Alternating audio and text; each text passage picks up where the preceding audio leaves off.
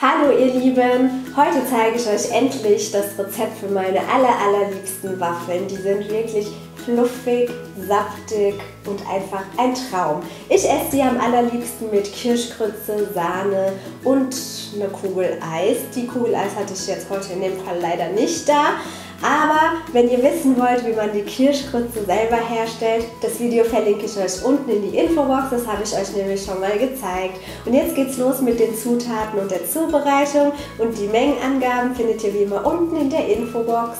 Für den Waffelteig brauchen wir Milch, Mehl, weiche Margarine oder Butter, Eier, Zucker, Vanillezucker, eine Prise Salz und Backpulver. Und los geht's mit der Zubereitung. Dafür geben wir die Margarine oder die Butter in eine Rührschüssel zusammen mit Zucker, Vanillezucker und der Prise Salz sowie den Eiern.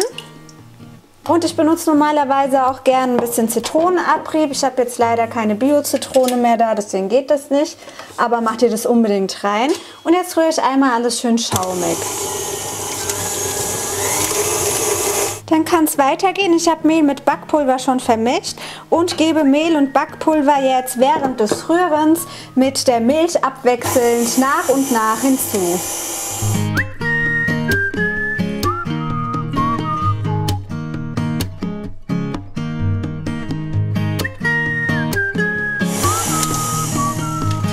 Und fertig ist der Waffelteig. Dann können wir unsere Waffeln ausbacken. Dafür habe ich mir jetzt mein Waffeleisen jetzt auf höchste Stufe heiß werden lassen und nehme es dann runter auf mittlere Stufe. Meiner hat drei, äh, sechs Stufen und ich nehme den jetzt mal so auf Stufe 4. Wenn es zu heiß ist, kann ich dann später immer noch runterschalten. Dann gebe ich so ein ganz kleines bisschen Speiseöl rein und verteile das mit einem Pinsel auf beiden Seiten. Jetzt kann der Waffelteig rein. Und achtet dabei darauf, nicht zu viel reinzugeben, sonst kann das Ganze ganz, ganz schnell überschäumen. Zuklappen und goldbraun werden lassen.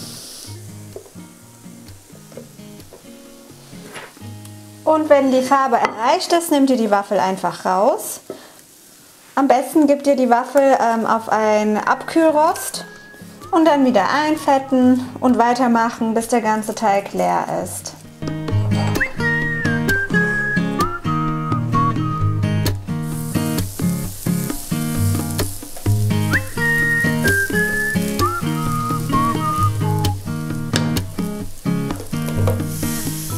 Wenn die Waffeln fertig sind, könnt ihr diese portionsweise auf Teller geben, etwas Puderzucker darüber streuen, einen Tupfer aufgeschlagene Schlagsahne drüber spritzen und natürlich etwas Kirschgrütze dazu servieren. Die darf meiner Meinung nach nicht fehlen und eine Kugel Eis wäre jetzt wirklich perfekt dazu. Die Gestaltung meines Fotos ähnelt übrigens dem Foto von meiner lieben Freundin Chrissy aus dem Kanal Kochkino. Checkt doch auch unbedingt mal ihre Seite ab. Sie hat seit ewig Ewigkeiten schon ein Waffelrezept drin und ich verlinke euch ihr Rezept und ihren Kanal unten in die Infobox.